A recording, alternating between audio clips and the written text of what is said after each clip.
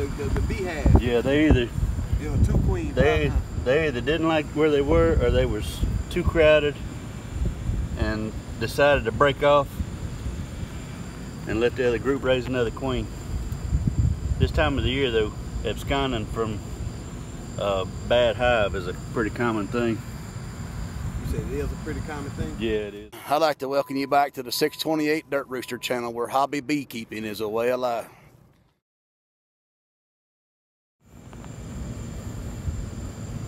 This is a good little group of bees. It's probably about four pounds worth. That's a good. That's a good cat. Three, three to four pounds. Yeah, that's pretty good. Just enough. Back them up. If you go from the top up, that's not gonna disturb what you man. Now I'm gonna go from the bottom up.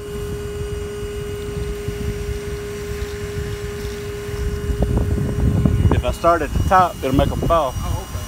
Then that stir 'em up. Yeah.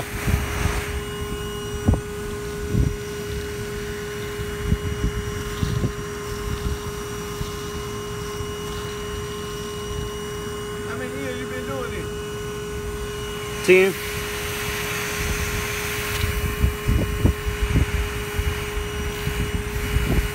Probably a food and all that.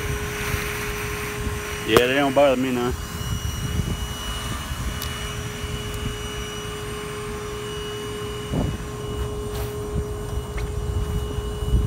Got that tree or something.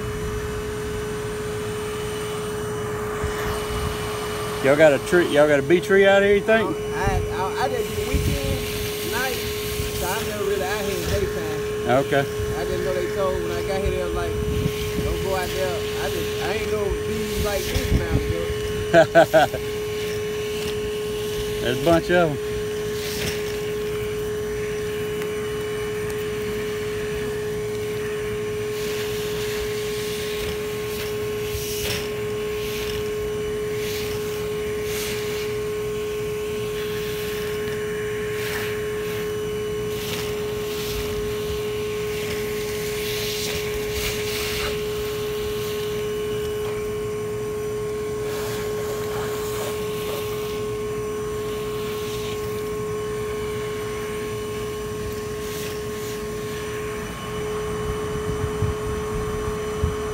A whole bunch of them, man. I'm talking, that's a big one. That's a whole bunch of big ones right there.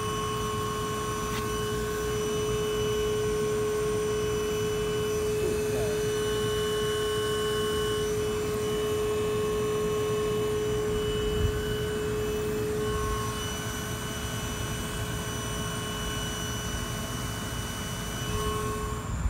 I know you probably can't see much out here. That's everything bee vac. I got every last bee. Probably took me about 10 minutes. And I know you probably can't see what's going on in the trees, but we're on the outer bands of Hurricane Barry, Tropical Storm Barry now, I think. I think it's downgraded. But I keep getting people asking me, is that vac really worth it? I'm out here at nearly midnight outside of a hospital trying not to make a lot of noise. Don't want to drag extension cords, generators, all that kind of stuff, and I'm not anywhere near a plug-in. Facility's locked down. That's as loud as she gets. I ain't bothering nobody. All the bees are gone. All the residents and employees are safe. And I'm out, and I'm just as happy as I can be. 40, that was swarm number 40, in case you were wondering. I'm out here on a very rainy day transferring nucs out of wooden uh, wooden boxes into into this EZ Nuc for transport. Got somebody picking up two of these, transporting them for uh, their uncle or father-in-law or somebody. Anyway, what I wanted to do show how bees draw on foundation. Somebody asked me Matter of fact, several people asked me over the past few days, how do you get bees to draw on foundation? I can't get them to do anything. And I said, put another layer of wax on. And somebody specifically asked about Italian bees, which is what these are.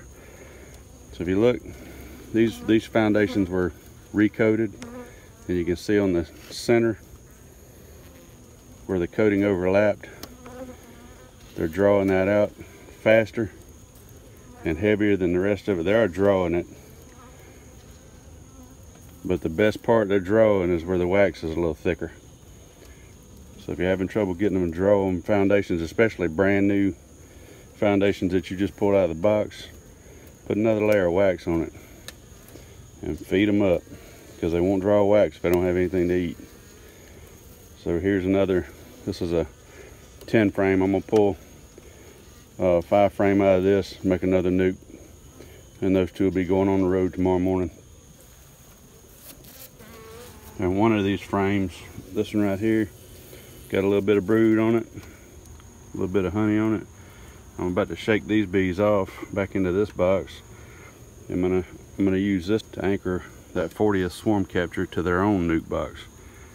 I got a uh, four brand new frames plus this one and this one right here will pretty well hold them to it. Not that they would go anywhere if I locked them up, but it's storming for the next few days. I don't want to be out here fooling with them. So I'll stick this in there, give them something to to make it feel like home. That's what I shook off the bottom of the little screen lid there. This is the rest of them waiting to come out.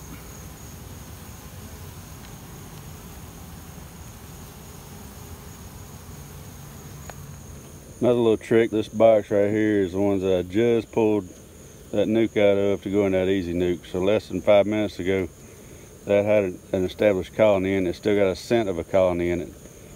So they're much more likely to take that box than to one that I maybe grabbed out of a supply stack that had been sitting for a few months empty.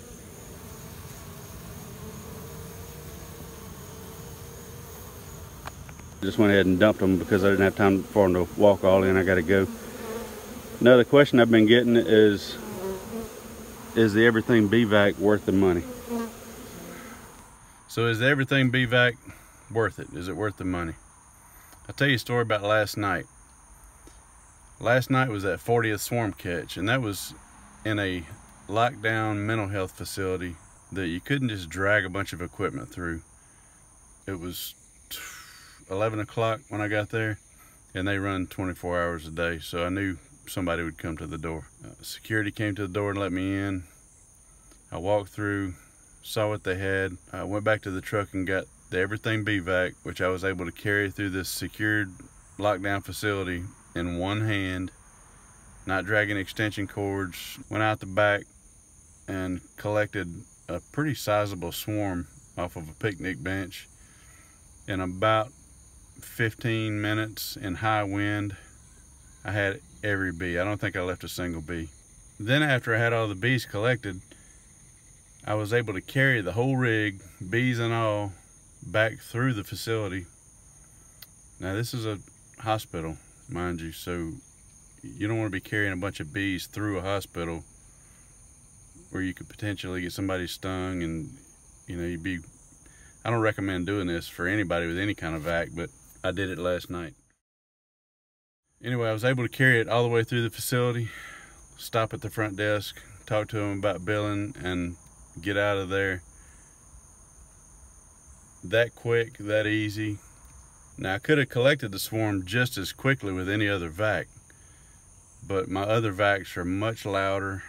I would have been looking for a place to plug in. I don't think there was any exterior uh, power sources there. I didn't see any anyway.